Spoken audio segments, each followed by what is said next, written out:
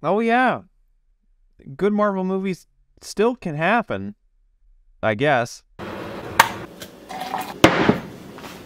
Star Wars.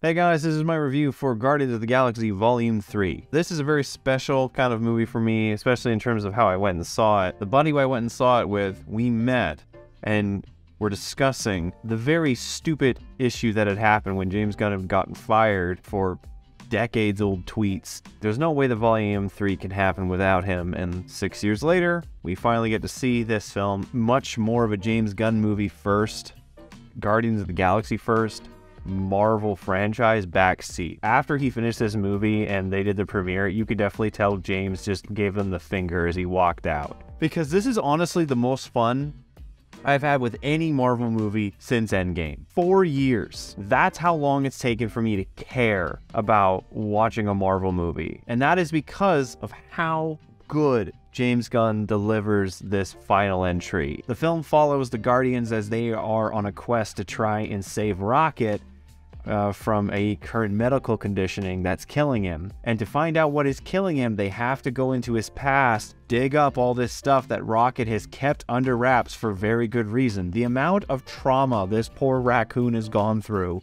is innumerable. And we see that in flashbacks for him while the characters are on these challenges, on these journeys, and kind of dealing with their own issues. We've got Gamora not being the Gamora that Peter Quill loved, and he still can't get past that. We have Nebula, who is somewhat in the secondary mother sort of leader role because Quill is just such a mess. As I said, this movie is very much about the Guardians and who they are and what they're doing. In actual terms of building the franchise, there's nothing. There is absolutely almost nothing from this movie that's probably going to be in the other films. Maybe one or two aspects, but that's it. And I absolutely adore the movie for that Absolutely. I was on a walk last night and then it came to me just exactly why Guardians is so well beloved. Guardians of the Galaxy is probably one of the best examples I could ever give for audiences to get the best cartoon to live action adaptation I've ever seen. And I understand that's slightly bending the truth because I'm referring to comic book characters, who, from what I could find, have never had a cartoon adaptation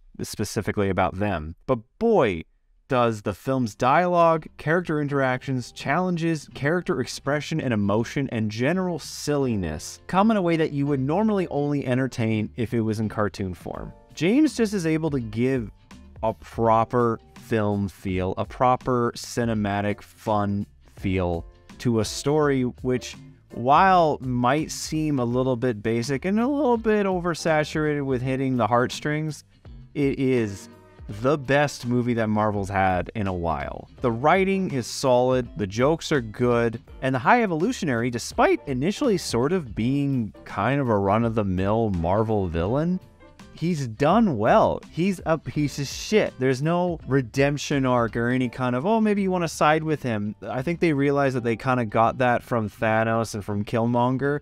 Nah, High Evolutionary is just a piece of shit, and he's really, really good at it. The only thing I think that doesn't slap is the soundtrack. Not to say that there aren't some good tracks on here, there are some decent songs, but in terms of the first and the second one, I bought those CDs right off the bat. Yes, I bought a CD and I listened to them in my car for weeks on end. This one I've been I've been listening to it a bit here and there on Spotify, and there are some songs I just straight up skip. You know, if you got three banging soundtracks in a row, I, I would have been very, very impressed. More of the focus on Rocket, that emotional trauma, that emotional story of building that he went through, that is definitely the more main focus. And they do spend a lot of time with that. This is the longest Guardians movie of the three. But the action's really fun, especially there's one sequence towards the end that is by far the best action sequence that's been in a Marvel movie in a long while. It pulls at the heartstrings. It makes you feel. It makes you care. It makes you cry. It gives you laughs. It gives you terror.